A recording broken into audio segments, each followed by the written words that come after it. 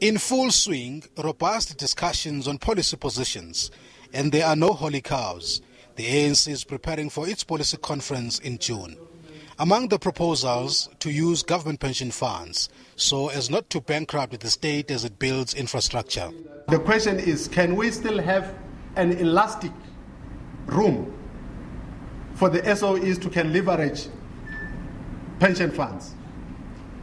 That's a debate for everybody. It's not a debate for the ANC alone. To tap in these resources for this particular purpose and for this percentage so that you don't deplete the savings of future retirees.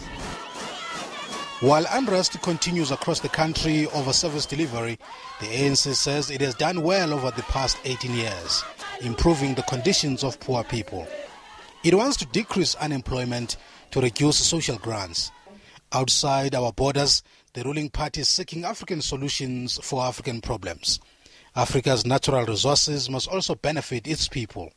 We do not want a new colonialization of the African continent because you know when you have other people coming from outside telling you they've come to help you to resolve your problems only because they want your resources only because they want to impose certain things for you those solutions that they're bringing for you are not helpful at all the ANC reiterated that it did not support land grabs or expropriation without compensation.